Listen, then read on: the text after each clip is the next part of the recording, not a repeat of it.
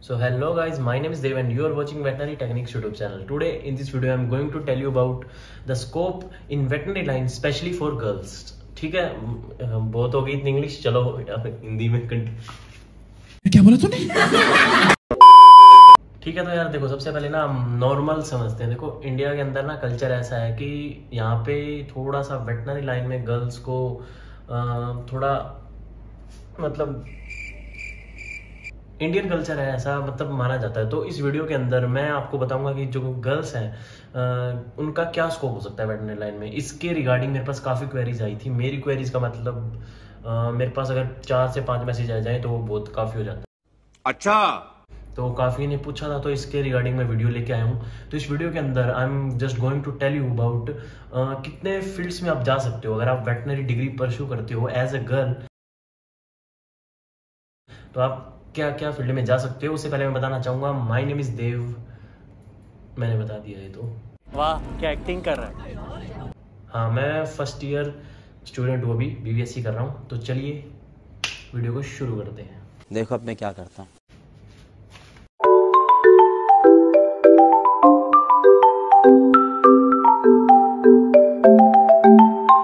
सबसे पहले तो अगर आप एक वेटनरी डिग्री परस्यू करते हो तो आप डॉक्टर बन जाते हो। तो सबसे पहला तो आप फ़ील्ड में वर्क कर सकते हो। देखो फ़ील्ड में वर्क करने से मतलब है आप ट्रीटमेंट कर सकते हो एनिमल का।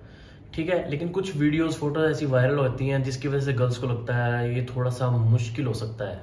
बट ऐसा नहीं कह रहा कि मैं गर्ल्स ऐसा थोड़ी सी थिंकिंग हो गई है। इसलिए थोड़ा सा वेटनरी करियर में घर जो हमारे पेरेंट्स हैं, वो एज अगर उनका चाइल्ड गर्ल है तो वो सोचते हैं कि कैसे आगे कुछ हो पाएगा। तो इसकी वजह से ऐसा होता है। बट जो आजकल गर्ल्स भी हैं, वो काफ़ी ज़्यादा कर रही हैं अच्छा कर रही हैं बॉयज़ से भी अच्छा कर रही हैं।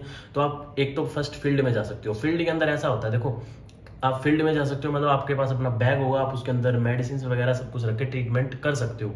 ठीक है? उससे पहले आपको अपना थोड़ा सा प्रमोशन वगैरह करना पड़ेगा।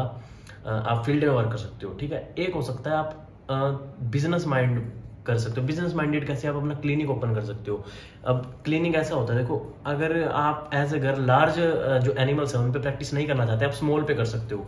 स्मॉल एनिमल्स हैंडल करना इजी होते हैं प्लस आप अपने साथ एक असिस्टेंट भी रख सकते हो एज ए डॉक्टर वो आपको सपोर्ट करेगा एंड आप ट्रीटमेंट कर सकते हो। तो आप क्लिनिक ओपन कर सकते हो तो जिसके अंदर आप ट्रीटमेंट कर सकते हो स्मॉल एनिमल्स का स्मॉल एनिमल का, जो हमारे आजकल हम जितने भी क्लिनिक्स देखते हैं, हम अपने डॉग का ट्रीटमेंट करवाते हैं, कहीं पे भी, वो क्लिनिक्स होते हैं, वो किस लिए होते हैं? स्मॉल एनिमल के लिए होते हैं। वैसे भी सिटीज़ में जो क्लिनिक्स होते हैं, वो स्मॉल एनिमल के ही होते हैं। लार्ज एनिमल पे जो प्रैक्टिस करते हैं डॉक्टर्स वो मोस्टली गाँव के अंदर होते हैं।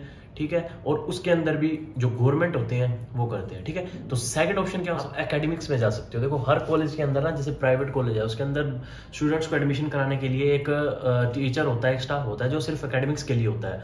जो बच्चों को एडमिशन कराने में हेल्प करता है मैनेजमेंट स्टाफ भी उसको बोल सकते हैं, आप इसके अंदर जा सकते हो। थर्ड ऑप्शन विल भी आप टीचिंग लाइन में जा सकते हो, आप प्रोफेसर बन सकते हो, आप अपनी बीबीएससी डिग्री कंप्लीट करते हो, उसके बाद आप अपनी एमवीएससी पर्टिकुलर फ़ील्ड में करते हो।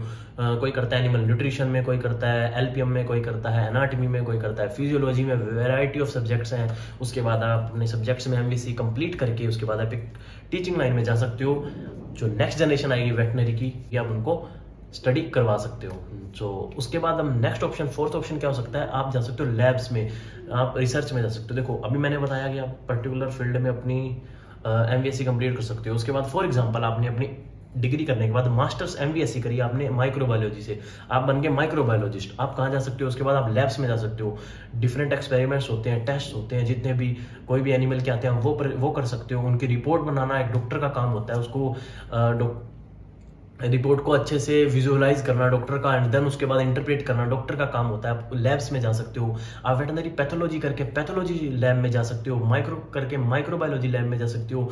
डिफरेंट वैरायटी ऑफ़ लैब्स होती हैं सीमन बैंक्स होते हैं। इसके अंदर आप एज ए डॉक्टर ज्वाइन कर सकते हो। वहाँ पर आपका काम क्या होता है? आप, अगर आप बाहर फ़ील्ड में नहीं जाना चाहते, अगर आपको थोड़ा सा उसके अंदर प्रॉब्लम आती है, आपके पेरेंट्स उस पॉइंट ऑफ़ व्यू से सोचते हैं तो आप एक पर्टिकुलर इन्वायरमेंट पे रह के जो मैं आपको बता रहा हूँ आप इसमें वर्क कर सकते हो। और माइक्रोबायोलॉजी और पैथोलॉजी लैब के अंदर जैसे भी डिफरेंट लैब्स हैं जैसे आपको पता है। हमको नहीं पता। पैथ वेट है वेट लैब है इनके अंदर वैकेंसी होती हैं। आप एज ए डॉक्टर यहाँ पे पैथोलॉजिस्ट माइक्रोबायोलॉजी ज्वाइन कर सकते हैं इन लैब्स के अंदर ओके सो उसके बाद ऑप्शन क्या हो सकते हैं? आप रिसर्च में जा सकते हो। रिसर्च में आप कोई भी वैक्सीन हो गई जितने भी जो भी आजकल जितने भी डिज़ीज़ फैल रही हैं, उसकी जो वैक्सीन बनती है, उसमें एनिमल्स का बहुत बड़ा स्कोप होता है, उसमें बहुत ज़्यादा हेल्प होती है। वैक्सीन बनाने में आप हेल्प कर सकते हो।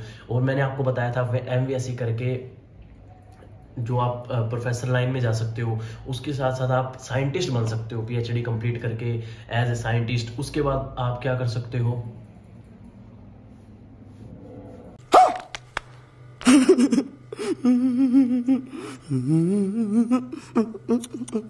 सोशल वर्क में जा सकते हो। सोशल वर्क तो सबको पता है। जो डॉक्टर नहीं भी होते, वो भी काफ़ी जो हम लोग होते हैं, वो सोशल वर्क करते हैं। बट एज ए डॉक्टर आप सोशल वर्क भी कर सकते हो। आप पोल्ट्री फ़ार्मिंग में जा सकते हो। अपना पोल्ट्री फार्म चला सकते हो। पोल्ट्री फार्म चलाने में इतनी ज़्यादा दिक्कतें नहीं आती आ, उसके लिए आपको एक पर्टिकुलर लेआउट एंड प्लान पता होना चाहिए। उस पोल्ट्री फार्म आप रन कर सकते हो आप डेयरी फ़ार्मिंग कर सकते हो जितने भी डेयरी प्रोडक्ट्स आते हैं आप उसमें जा सकते हो।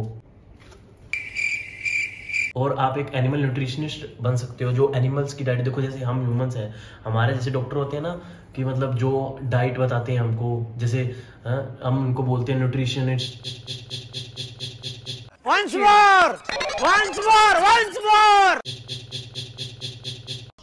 अरे देवा, ये गड़बड़े बाबा।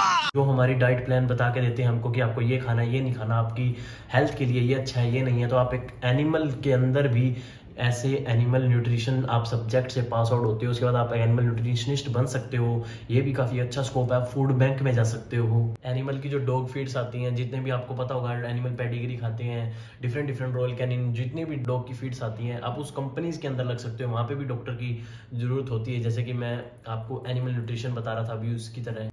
आप डिफरेंट कंपनीज़ में जा सकते हो, ठीक है? कंपनीज़ मतलब जितनी भी बड़ी बड़ी कंपनीज़ हैं वेटनरी मेडिसिन की उसके अंदर वेटनरी डॉक्टर की बहुत ही ज़्यादा वैकेंसीज होती हैं आप वहाँ जा सकते हो। प्लस आप इसके अंदर आप ब्रीडिंग एंड जेनेटिक्स रिसर्च में जा सकते हो। ब्रीडिंग जो ब्रीडर्स होते हैं जैसे हमने बहुत देखे हैं यूट्यूब पे भी काफ़ी ब्रीडर्स हैं जो ब्रीड्स जो डॉग की होती है उनके पास कैट्स की होती है उसको रिप्रोड्यूस करते हैं उसके बाद उनका एक बिज़नेस है ब्रीडर्स बोलते हैं उनको आप इस लाइन में जा सकते हो। ठीक है? आप अपना स्मॉल बिज़नेस कर सकते हो। स्मॉल बिज़नेस कोई आ, मतलब काफ़ी ऐसे भी होते हैं जिनको बस वेटनरी मतलब एनिमल से लगाव होता है। उसके बाद वो अपना बिज़नेस ओपन कर सकते हैं, आप एक शॉप ओपन कर सकते हो पेट शॉप ओपन कर सकते हो। एज ए डॉक्टर आप ये करोगे नहीं बट इसको कंसीडर कर सकते हैं स्कोप के अंदर एज ए पार्ट टाइम आप ये भी कर सकते हो। और इसके बाद आप एंटरप्रेन्योरशिप में जा सकते हो। आप डिफरेंट क्लिनिक्स आपकी ब्रांच ओपन कर सकते हो। अगर आपको एज ए वेटनेरियन वर्क नहीं करना बट आपके पास बजट है, आप डिफरेंट क्लिनिक्स ओपन कर सकते हो। बट उसके लिए बस आपको वेटनरी में इंटरेस्ट था तो आप ये सोचते थे कि मुझे बस वेटनेरियन बनना है और कोई भी मैं क्लिनिक्स चलाऊँ तो मुझे भी नॉलेज हो, अगर मुझे कोई कुछ पूछ ले या फिर अपना भी इंटरेस्ट होता है तो आप इंटरप्रीनियरशिप में जा सकते हो। तो मैंने आपको काफ़ी वेराइटी ऑफ़ स्कोप बताए हैं इसके अंदर। और मैं आपको एक और स्कोप ऐड करना चाहूँ कि है अब्रोड ये काफ़ी हटके है क्योंकि अब्रोड जाओगे तो आपको पता है पे स्केल हाई होगी रेपुटेशन भी ज़्यादा होती है। अब्रोड में भी आप जाके अपना सेट हो सकते हो या सेटअप कर सकते हो अब्रोड के अंदर।